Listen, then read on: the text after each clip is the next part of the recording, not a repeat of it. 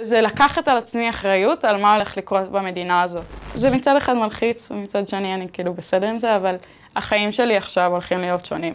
אה, זה מלחיץ שאני הולכת להיות בכלא צבאי לתקופה שאני לא יודעת מהי, ואני לא חושבת שהפעילות הפוליטית שלי תסתיים אחרי שאני אסיים את התקופה בכלא. כאילו אני פשוט חייבת לעשות משהו, ומבחינתי לעשות משהו זה לסרב.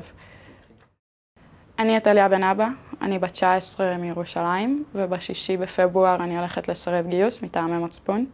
החלטתי לסרב להתגייס לצבא כי אני לא מוכנה לשתף פעולה עם המדיניות הדכאנית והמפלה והגזענית של ממשלת ישראל בשטחים. אני חושבת שכרגע המצב שיש שם הוא אלים בצורה שהיא לא, כאילו היא חסרת תקדים והיא לא הגיונית והיא לא משרתת לא את האינטרסים הישראלים ובטח שלא את הפלסטינים. ואני גם לא מוכנה לקחת חלק בזה, ואני גם רוצה לעשות צעד פוליטי שיוכל ליצור שינוי של המציאות הזאת. בעצם על ידי סירוב אני רוצה להפעיל לחץ פוליטי על הממשלה כדי לקדם שינוי של המצב הזה וסיום הכיבוש וסיום המדיניות הצבאית האלימה בשטחים. כאילו לא באתי מבית שהוא כזה נורא נורא שמאלני. כאילו ההורים שלי שניהם היו בצבא, הם שניהם אני חושבת היו מעדיפים אם אני הייתי מתגייסת.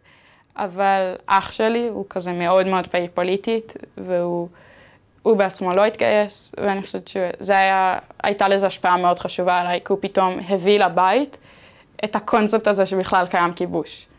כאילו זה, כשהוא בא הביתה ואמר, הייתי בשטחים וראיתי את הכיבוש וראיתי את הדיכוי, זו פעם ראשונה ששמעתי על זה.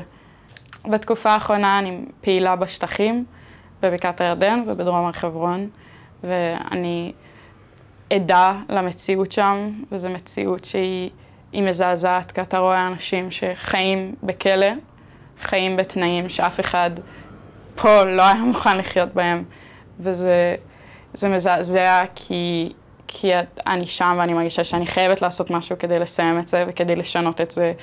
אה, כאילו יצא לי לראות מאחזים קמים ולדעת שהם לא חוקיים, לדעת שיש עליהם צו פינוי וגם לדעת שאני לא יכולה לעשות שום דבר. כי כל, למרות שאני כל שבוע באה לשם ואני מתעדת את ההתקדמות שלהם ואנחנו מתקשרים לרשויות, כלום לא קורה. ועשינו שם הפגנות, הפגנות לא אלימות, ונתקלנו בחזרה באלימות צבאית, כאילו ריססו אותנו בגז מדמיע, ו...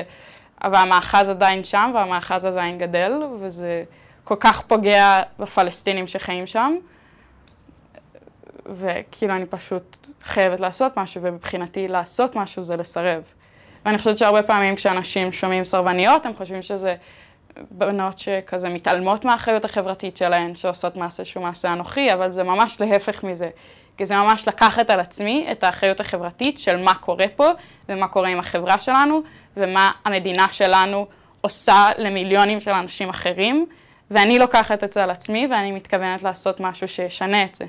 אני חושבת שלהיות חלק מהמערכת הצבאית בכל תפקיד שהוא, גם אם זה בחיל חינוך, גם אם זה תצפיתנית בלבנון, זה עדיין להיות חלק מהצבא. זה עדיין להגיד, אני בסדר עם זה, ואני בסדר עם מה שקורה פה. ואני לא מוכנה להגיד שאני בסדר עם זה.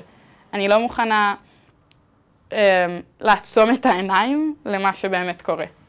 אלא אני לא, אני פשוט לא מוכנה, ואני לא מוכנה לעמוד מנגד, ויותר מזה אני רוצה לעשות משהו אקטיבי כדי לשנות.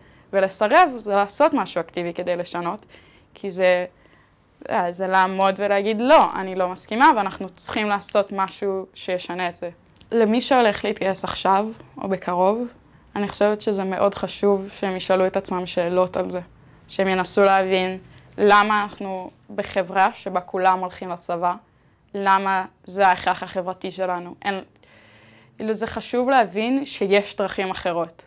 שאם אנחנו רוצים להגיע, שוב, לביטחון, אז יש דרכים אחרות. דרכים אחרות שהן הרבה יותר אפקטיביות מלבנות עוד חומות ומלעשות עוד מחסומים. הייתי מציעה לכל מי שהולך להתגייס עכשיו, שייסע לסיור בשטחים, לפעילות בשטחים, לראות מה זה באמת לחיות שם. כאילו, למה המצב שם הוא ככה, ולמה זה שהמצב שם הוא ככה משפיע כל כך עלינו. ולמה אם אנחנו רוצים לשנות את המצב שלנו, אנחנו צריכים גם לשנות את המצב בשטחים. בעצם הרעיון של תנועת סרבנות, כאילו סרבניות שהן לא בודדות, הוא נורא נורא חשוב, כי הוא גם יוצר מצב שבו עוד סרבניות ועוד סרבנים יכולים להצטרף ולהגיע. אני לא חושבת שהייתי מסרבת אם לא הייתי רואה את הסירוס של תאיר קמינר, אם לא הייתי קוראת את מה שהיא כתבה. כאילו זה ממש חשוב, כי זה יוצר המשכיות.